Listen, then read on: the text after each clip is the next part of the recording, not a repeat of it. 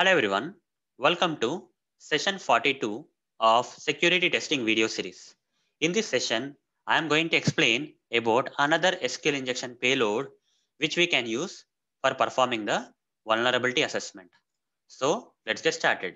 In the previous session, guys, I explained one of the SQL injection payloads like the single quote space or one is equal to one hyphen hyphen. So this is one example for SQL injection payload. And this payload I explained was used for performing the penetration testing. And as part of that, I explained and practically showed you how to use this payload for bypassing the authentication in one of the websites, right? In one of the demo websites where we can perform security testing, I showed you how to use this payload for bypassing the authentication. But in this session, guys, I'm going to explain another SQL injection payload. This was this is one example for SQL injection payload. In this session, I'm going to explain another SQL injection payload that is nothing but a single quote, guys, just a single quote. Using the single quote SQL injection payload, we cannot perform penetration testing, but the intention is to perform the vulnerability assessment. We can perform the vulnerability assessment. So that means using the single quote SQL injection payload, we can assess whether the application is vulnerable to SQL injection or not. That's it, guys. Okay. We are not going to penetrate or do anything like a hacker does. Here, we are just going to assess the application, whether it is vulnerable to, it is vulnerable to SQL injection or not. So which functionalities of the application are vulnerable to the SQL injection? Such kind of things we can check, guys. Okay. So when it comes to security testing, guys, in terms of priority, now we have, you, you see two payloads here, right? So here, this is one SQL injection payload and the single quote is another SQL injection payload. Which one we need to be performed first, guys? As security tester, which payload we have to try first? Single quote or uh, single quote space or space one is equal to one hyphen hyphen. Which payload? First, we need to try vulnerability assessment payload. Okay. First priority we have to give for this payload, guys. Single quote. Okay. As security testers, first we have to check whether the application is vulnerable to single this uh, SQL injection or not. That's the first thing we have to do, guys. We should go for this kind of payloads later. Okay. But first we have to start with the single quote. Now let me practically show, show you how to use the single quote for performing the vulnerability assessment with an intention of checking whether the application is vulnerable to SQL injection or not. For that, I'll take one website, guys. Okay, some demo website where which is open for performing security testing. That is testphp.vulnweb.com. When you go to this website, okay, when you go to this website, here there are several functionalities on this application which interact with the database. Okay, SQL injection need to be given. Okay, need to be performed. SQL injection, uh, this kind of uh, payloads need to be given in the functionalities of the application which interact with the DB guys. Okay, so we should not check uh, SQL injection everywhere on the application. For example, the search box field guys. Okay, for example, the search box field. Does the search box field interact with the DB or not? What do you think? When you enter something here, let's say if I enter Arun here and select go, what will happen guys? A request will be sent to the server and server will process the request and it will create a query guys. What type of query? Select star from search. Okay, select star from search where search text is equal to Arun. Such kind of SQL query will be triggered to the database. Database will give some search results. That results will be uh, sent in the response by the server to the UI, this browser, and it will give the results. Here, when I say go here, some search results will come here, right? That's what is happening. That means this text box field is interacting with the DB. Similarly, here there is something like artist. Okay, artist is there. When I click on this, what's happening? When I click on this link, so some artist details are coming. From where these artist details are coming? Here, a request is sent to the server. Okay, as in this form of the parameter, artist is equal to one. When you select this uh, first artist, artist is equal to one. When you select the second artist, artist is equal to. Kind of request is sent to the server. Server is processing the request for the artist two, and it will create a kind of uh, dynamic SQL query like select star from artist, where artist is equal to two. Kind of thing is triggered on the database. Database is responding back the this kind of details about the artist, and these details are sent back to the browser and displayed on the browser. Like that, it is happening guys internally. Because if you have followed the previous sessions of mine, you'll understand whatever I'm explaining now, right? So this is what. So now like this guys, you have to understand the functionalities of the application which are interacting with the database. So in that functionalities of the application which are interacting with the da database, we have to enter the single quote. Let's say I will try entering the single quote here. This is one of the functionality which is interacting with the database, right? When I enter something here, that thing is going to the database. So such kind of functionalities, I entered the this payload that is a single quote payload, okay, for vulnerability assessment point of view. When I say go guys, I didn't get any search results and uh, I'm, I didn't get any error. That means I'm not able to check whether the application is vulnerable to SQL injection or not using the single quote payload from this search box field. I will go with another eh, functionality of the application like artists. When I go to the artists here, if I select one of the artists, let's say I'll select the first artist here, this particular part is being sent to the server. Artist is equal to one is queried on the database right? This artist is equal to one is queried on the database. Now what I'm doing is instead of this one, I'm simply adding the single quote at the end of the one. Artist is equal to one single quote. This single quote is the SQL injection payload we are adding. When I enter something like this, what's happening guys? This time I am getting some error message. Why I am getting the error message here is the thing you need to understand. When I pass it the single quote here, the single quote is running on the database guys. That means my application, this particular demo application, which is open for security testing, is vulnerable to SQL injection. Okay. When you when you do some trial and, and error, okay, when you do trial and error using this single quote payload, SQL injection payload on different functionalities of the application, uh, which you think that they are interacting with the database, right? So if this single quote reaches the database, then you will get this kind of errors. Fine. If the application is vulnerable to SQL injection, then only you will get this kind of errors, guys. Otherwise, you will not get. So internally, what is happening? Let me explain.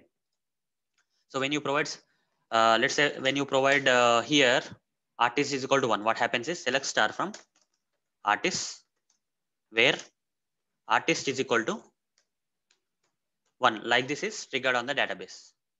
Okay, this kind of SQL query is generally triggered on the database.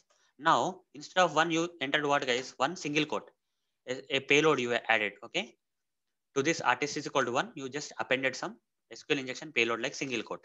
So what happens uh, when you when you pass one single quote instead of this SQL query, this SQL query will be happening. Select star from artist where artist is equal to okay here instead of one one single quote is going that means up to here is no problem guys the SQL query is perfect till here. But this extra single quote is a problem, guys. Because of this extra single quote, okay, this query has become invalid query. Invalid query, invalid SQL query, you can say. According to the syntax of SQL, this single quote cannot be accepted. Now, when such kind of invalid SQL query hits the database, database won't know what to do. Okay, because there is a problem in the SQL query. So it will display some error guys. Okay. I'm not able to solve this query. There is an error in the SQL query like that.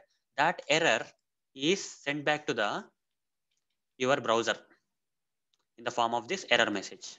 Now from this error message, what is the problem? Here hacker has intentionally provided this.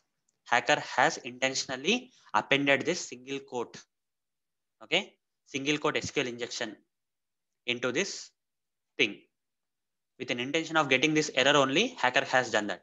Because if this kind of error SQL queries, invalid SQL queries are run on the database, if the database is responding for such kind of invalid SQL queries, that means this application is vulnerable. This application is vulnerable to which injection? SQL injection vulnerability. Okay. Then as a hacker or attacker or as a security tester, we can we can understand that this application is vulnerable to SQL injection guys because database has was unable to run the SQL query. Because of that uh, invalid SQL query, database was unable to run the SQL query and it has given some error message. That error should not be shown to us guys. If the error is shown to the user, that means now as a security tester, hacker or attacker, we can come to know that the application is vulnerable to SQL injection. And also guys, you are able to get some details of the database Okay, in this kind of error messages, we generally see the details about the database like MySQL or Oracle, such kind of messages. So we now know that this application is using which database? MySQL database, simple. Okay. And also this application is now vulnerable to SQL injection. So like this guys, this is how we perform the vulnerability assessment using this uh, simple SQL injection payload that is single quote. Okay. This is the first thing that as security tester we perform. We assess all the applications, all the functionalities of the application which interact with the database by simply providing the single quote, either in the URL or in this kind of text fields which interact with the database.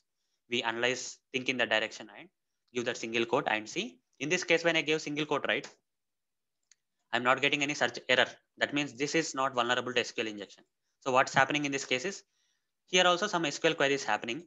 That is a uh, select a star from search where search text is equal to. So here, if you are sending some text, it will be, if I am uh, sending some text like Arun here, the SQL query will be like this. If I enter Arun here in the search box field and say go, the SQL query will be created on the database will be like this. Queried on the database will be like this. But if I am not sending Arun instead of Arun, if I am sending single quote, in place of Arun, what will happen? The single quote will go. So till here, there is no problem, guys. Okay, till here, there is no problem. But this extra single quote when it is triggered on the database, when it is queried on the database will give error. Here, this extra single quote is not working. You see, the database error is not displayed here. That means this functionality is not vulnerable to SQL injection, right?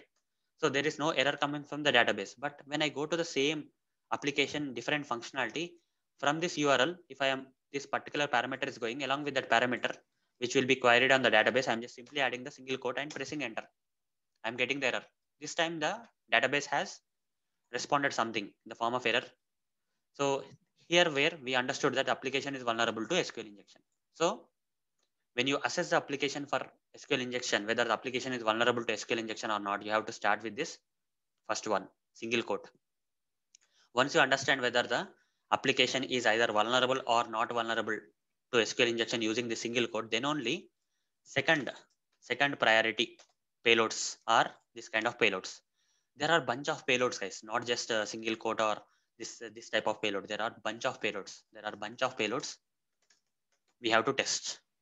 So how to test a bunch of payloads? For that, guys, we'll be using some tools like Burp Suite tool. In the upcoming sessions, I'll show you how to use Burp Suite tool for uh, uh, running the bunch of payloads. Okay, we'll have a checklist of payloads, SQL injection payloads. We'll we'll put that SQL that uh, checklist of payloads into this Burp Suite and run it at a go. That's what we are going to do in the upcoming sessions. But for now, we'll start with the, for your understanding guys, if you have to manually perform security testing in your company, you have to start with this single quote, okay? And payload after payload. And if you if you use this kind of Burp Suite tools, then it it will make our job easy, guys. I'm going to show that Burp Suite tool how to how to use uh, Burp Suite for running all the payloads, SQL injection payloads. All those things I will be explaining as part of the pre in the upcoming sessions, guys. Fine.